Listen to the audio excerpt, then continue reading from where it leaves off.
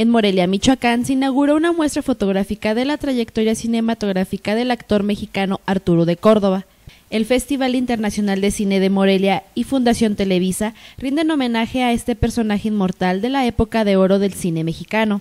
Fue la oportunidad de crear una bellísima exposición en, en torno a la figura del gran actor mexicano Arturo de Córdoba y en este espacio público, la plaza principal de la ciudad, de la bellísima ciudad colonial de Morelia. La muestra fue armada por el historiador Eduardo de la Vega, quien considera muy actual la historia y logros de Arturo de Córdoba. Él es uno de los eh, pioneros, de los precedentes de mexicanos que trabajaron en la gran, eh, en la colosal industria cultural que es que era Hollywood.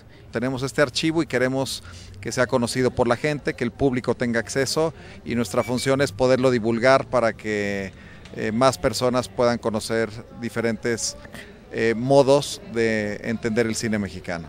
A la inauguración de la exposición acudió el nieto del reconocido actor, quien hizo público su agradecimiento por el homenaje a su abuelo. Entre la combinación de esto, de las fotos, así como todas las películas que se están pasando de él aquí en el festival, por lo menos está recuperando un poco ese, ese, no recuperando, pero recordando un poco lo que, lo que fue, lo que hizo, independientemente de, que también es parte de la historia del, del, cine actual. Arturo de Córdoba participó en 106 películas, de las cuales muchas fueron filmadas para el cine internacional, incluido la meca del cine, Hollywood.